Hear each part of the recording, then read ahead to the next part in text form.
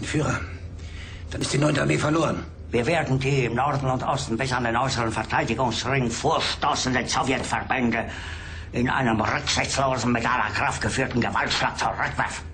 Mit welchen Kräften, mein Führer? Die Gruppe Steiner wird von Norden her angreifen und sich mit der 9. Armee vereinigen. Die 9. Armee ist nach Norden hin bewegungsunfähig. Die Feindkräfte übersteigen unsere Mannschaften um ein Zehnfaches. Wink soll mit der 12. Armee die Sache unterstützen. Aber mein Führer, die 12. Armee marschiert nach Westen, Richtung Elbe. Dann soll die Armee Pferd machen. Dann entblößen wir die Westfront. Haben Sie noch Zweifel an Ihrem Befehl? Ich glaube, ich habe mich klar.